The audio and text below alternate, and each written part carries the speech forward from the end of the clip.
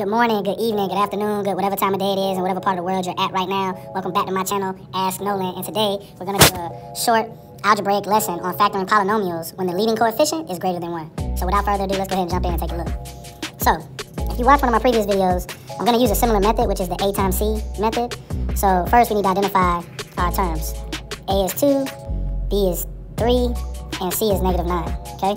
So when we zoom in, we're going to do our A times C, which is equal to positive 2 times negative 9. And that final answer is going to be negative 18. Now what we need to do is factor the 18, the negative 18. So let's find the factors of 18. 1, negative 1, and positive 18. Positive 1 and negative 18. Negative 2 and positive 9. Positive 2 and negative 9. Uh, negative 3 and positive 6. And then positive 3 and negative 6. Now, the next thing we need to do is we want to add these factor pairs up. And when we add, we're looking for the factor pair. We're going to add, and we're looking for the factor pair that gives us a positive b. Remember, b is equal to positive 3. So we're looking for which one of these factor pairs makes positive 3. This is going to be positive 17. This is negative 17. This is positive 7. This is negative 7. This is positive 3. And this last one is negative 3. Remember, we're looking for the pair that makes positive 3. So our two factors that we're going to use are negative 3 and positive 6. So now we want to rewrite our polynomial using those two factor pairs. Okay? So that's going to give us 2n to the second power minus 3n plus 6n minus 9. Now, this helps us. Now what we're going to do is what we call, we're going to factor by grouping. All right, so when we factor by grouping, we're going to have to, we're basically, what I'm going to do here, I'm going to split our polynomial, our new polynomial. I'm just going to split it. So we're looking at two groups of uh, terms. The first group is negative 2n minus 3n, excuse me, negative 2n squared minus 3n. And then the second group is positive 6n minus 9. So we want to look for our greatest common factor between for each group.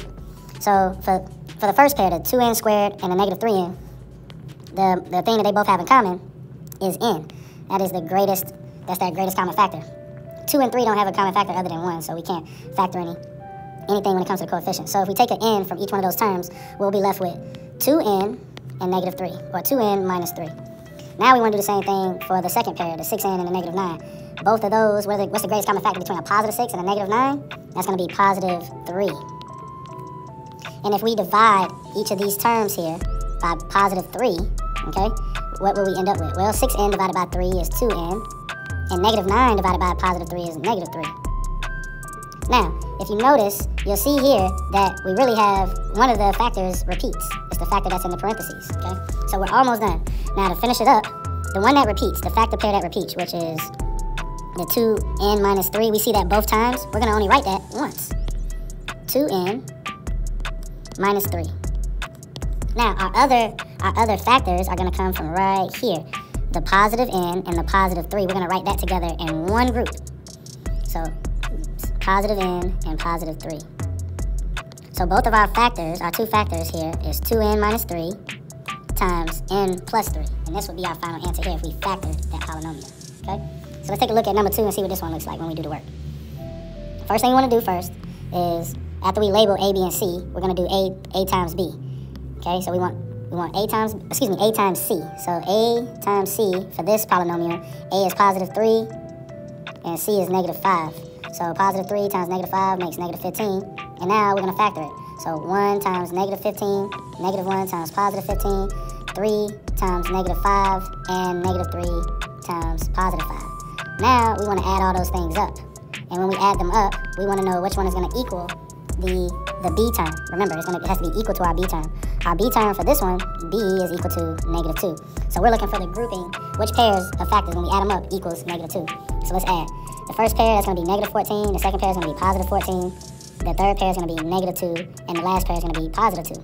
Remember, we're looking for the one that gives us negative 2. So the factor pairs that we're going to use here are the positive 3 and the negative 5. So now when I rewrite this, we're going to rewrite it to say, when we rewrite this polynomial, we're going to say 3x squared plus 3x minus 5x minus 5. Okay? So just to make sure we're on the same page, the positive 3, x comes from the positive 3 in the factor pair. And then the the negative 5, x comes from the negative 5 and the factor pair. Okay? Now that we know where those two come from, now we need to do the second part, which is the um, factor by grouping. Okay? So we're going to split it in two parts. And we're going to look at the 3x squared plus 3x first. So what do those two terms have in common? What's their greatest common factor? Well, both of them, I can, I can take a 3, I can divide both of them by 3, and I can divide both of them by x, because both of them have at least one x. So if we, to get what goes inside the parentheses, we have to do we have to do 3x squared. We have to divide basically both of these terms by 3x. Okay, so I would divide this by 3x. Oops. And then I would divide the second term by 3x. And that's how we figure out what goes inside the parentheses. So for us, going inside the parentheses, 3x squared divided by 3x would just leave us with x. And then positive 3x divided by positive 3x would just leave us with positive 1. Okay? So that's how we, now we factor that completely. We can get back to the second pair now, the second group, which is negative 5x minus 5. Well, what do both of these have in common? Both of these um, have a have a, in common a negative 5. So we can we can pull out a negative 5, which means divide both of these by negative 5 and figure out what goes inside the parentheses. Well, negative divided by negative is a positive, and 5 divided by 5 is going to be 1, so that's just 1x, or just x, right? I'm going to use, my, use the red to keep the colors the same. And then once again, you have negative 5 divided by negative 5, which is positive 1. So, when we do these problems here, um, just like we did the first one, we notice that one of the, the parentheses, the expression inside the parentheses is the same. Okay? When that happens, that's, that's this, these type of problems are what I call self-check. It's self-check because if you end up with the same expression inside the parentheses, then that means you did it correctly. Okay? So one of our, our final answer here is going to be x plus 1, right? Because both that was what was in the parentheses. You see it twice, you write it once, okay? And then our other group is going to come from the two terms that are on the outside of the parentheses. So the positive 3x and the negative 5, we're going to write both of those inside this group over here.